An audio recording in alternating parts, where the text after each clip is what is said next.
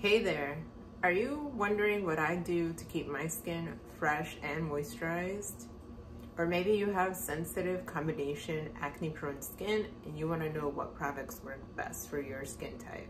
Then stay tuned for my skincare routine.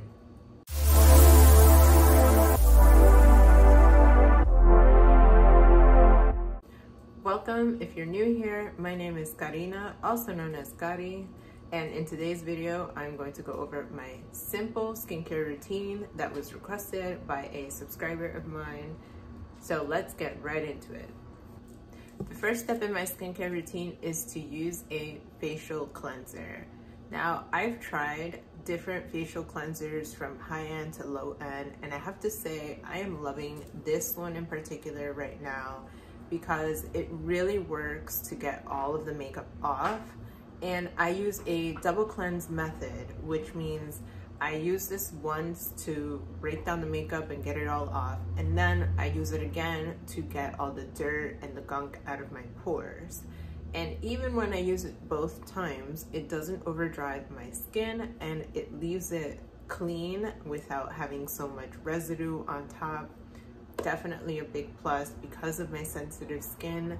I break out if a face wash does leave residue. I've tried using micellar water in the past, and even with that, I have to wash my face afterwards, or the residue that it leaves behind ends up making me break out. The next step in my skincare routine is to moisturize. Now, don't laugh, but I've been using this Trader Joe's antioxidant facial moisturizer for about two years now and I stray away to try new products because I like to try new products and then I keep coming back to this. As you can see, it is very well loved. I use this every day. I love that it's suitable for all skin types. There are some moisturizers that tend to be too heavy for my skin type and then there's some moisturizers that don't do much at all when it comes to moisturizing. This is a nice balance of giving me the right moisture amount and yet not being so heavy where it's going to make me break out. The next step in my skincare routine, because it is winter time, I like to add a serum on top of my moisturizer. This one is by Clarins. It actually works really nicely with that Trader Joe's moisturizer. And what I like about this is sometimes I'll use this alone if my skin is feeling pretty good when it comes to moisture level. And I just want something that's going to make me more dewy and glowy and I definitely use this product underneath my foundation and it doesn't mess with it too much. It actually works well with my NARS foundation. So I do like to use this, but because it is winter time, the next step in my skincare routine is to add a rosewater facial toner. This is also by Trader Joe's, surprise, surprise. So there are times where I'm indoors all day and the heat system will be on blast and that will end up drying out my skin. Even though I'll put on a generous layer of moisturizer and serum, I'll end up feeling like my skin is feeling a little bit tight. I spray this on and it just gives it that extra boost of moisture that my skin definitely needs without lingering with the smell and without irritating my skin and without feeling greasy. I will say a little disclaimer that due to hormones and eating habits, I do break out sometimes, which makes me acne prone. And I do get some cystic pimples. You can see one right there. I get them on my forehead. So I get them occasionally. The way I like to combat this is by using a benzoyl peroxide or a salicylic acid a salicylic acid acne spot treatment. Back to my skincare routine. Now, those are the four steps that I take on a regular basis. It's my daily routine.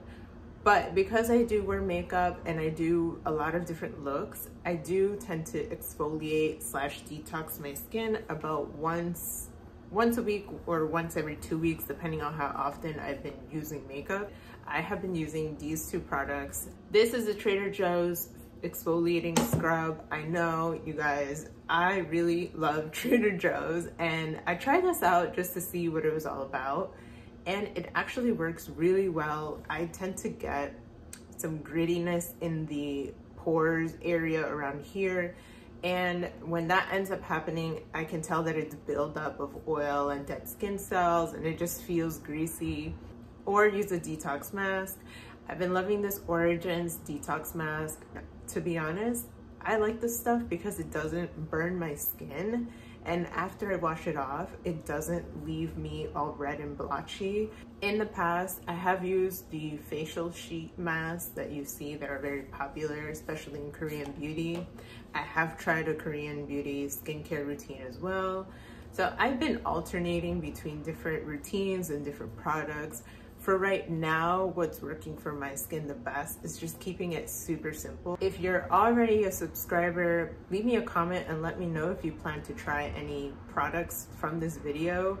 If you've ever heard of Trader Joe's facial products or if you ever tried any of their other facial products, they have a whole bunch of stuff in their facial skincare section.